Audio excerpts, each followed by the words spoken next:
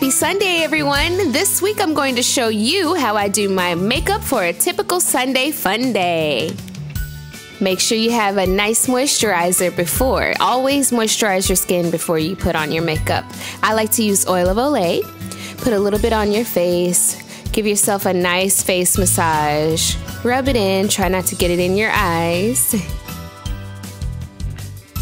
I even like to moisturize my lips. I love to use Dr. Lips Nipple Balm. Yes, I said nipple. It's a really good moisturizer for your lips and it lasts all day long. I just use a little bit and I just apply it on my lips. You don't want to use too much of this stuff. You really don't need a lot. A little bit goes a long way. It's powder time. I like to use the brand MAC.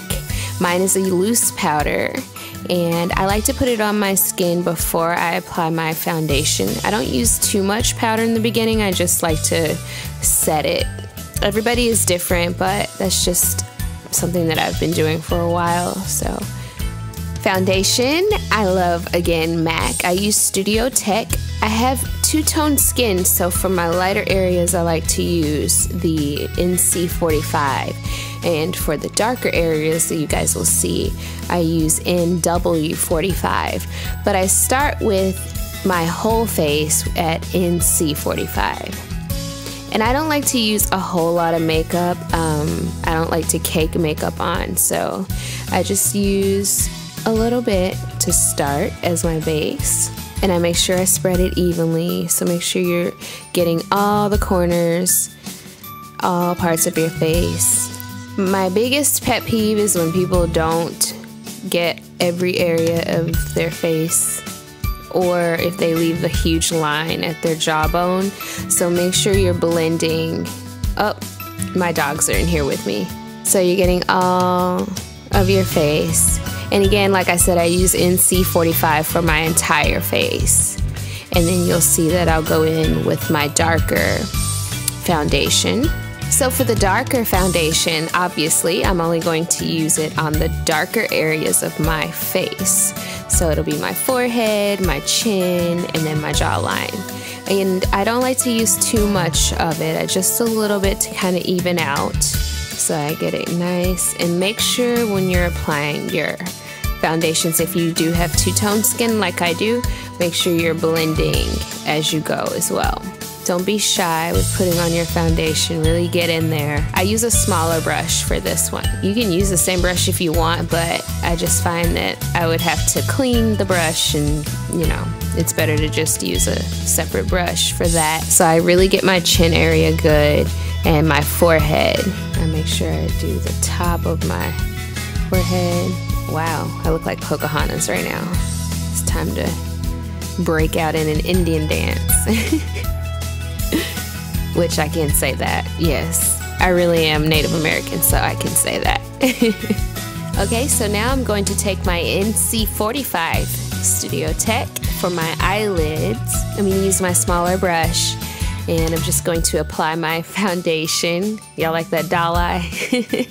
I'm gonna put my foundation in my eyelids and then after I do this is when I'll go and take my other brush and I will blend all of my foundation together. So the darker and my NC45, I'm gonna just go in with my brush and make sure everything is blended nicely. And now I'm going to apply another bit of powder for my foundation. And again here with my powder brush, I'm gonna go through and make sure everything is blended nicely. And then we're gonna move on to blush. So I like to do a really cool thing with um, applying my blush. I smile because um, it helps with, you know, making the cheekbones look nice and high. If you don't have high cheekbones, um, smile. I know it might feel ridiculous, but it will definitely do a difference when you're applying your blush. So you may look silly smiling, but it is very, very helpful when it comes to applying your blush.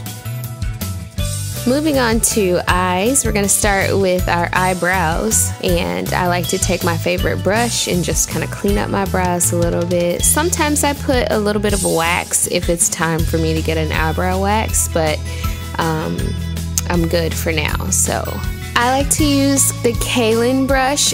I think that's how you pronounce it. It's so amazing. Um, you can get it at any beauty supply store. It comes with a brush in your top. Um, but I like to use a different tool for mine. I use my Bdellium tools. I just find it as a better brush.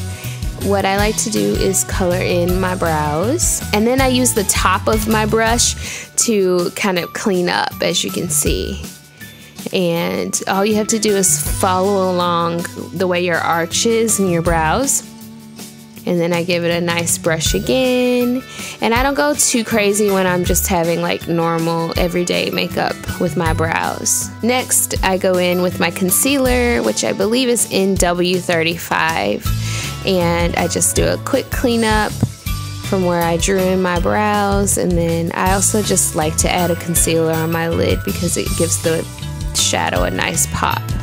I'm using Urban Outfitters eyeshadow. They have really good eyeshadow. I think I got this for like $1.99 in the clearance section.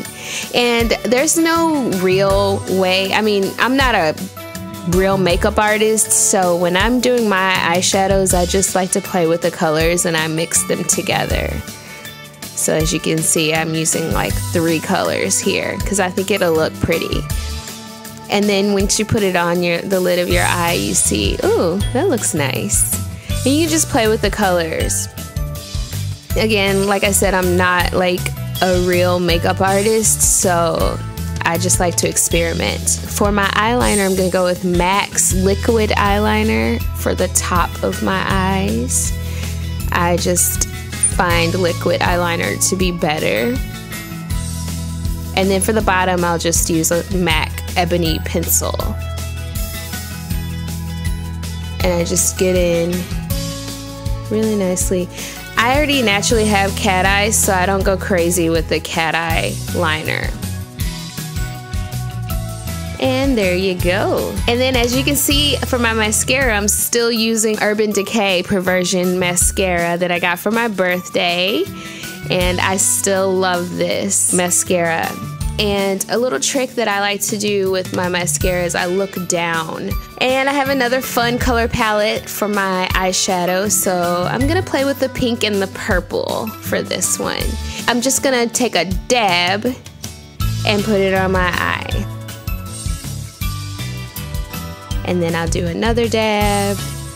And I only just do a couple of these. Just to give a nice, pretty, like soft pinkish purplish pop at the top of my eye, right underneath the arch. It just looks pretty. Like I said, I just like to mix colors together. Finally, we are moving to lips. I line it with a magenta MAC pencil. The color is magenta. And I love pink and purple, so I'm gonna go with a cute little pink for today. I already have naturally big lips, so sorry I can't teach you how to make your lips look bigger, but just follow the lines on your lips and make sure you do clean up. There's nothing worse than having that little post um, lip liner look. I'm gonna go with a pink and I'm doing Lime Crime Hot Pink. I don't like to put too much on because then it looks crazy. And then I'm going to go with lip gloss from MAC. I just put a little bit of this on on top of my lipstick. And then I like to do a little bit of a blot. Do one last cleanup, make sure everything's good. Sometimes I sweat when I'm doing my makeup, so I like to go in with either my brush or my powder brush or my foundation brush and just kind of clean everything up. Make sure you don't have lines in your cheekbones. Give yourself a little look and I am ready to start my Sunday fun day. Thank you guys so much for watching this video, and I will see you next week. Bye.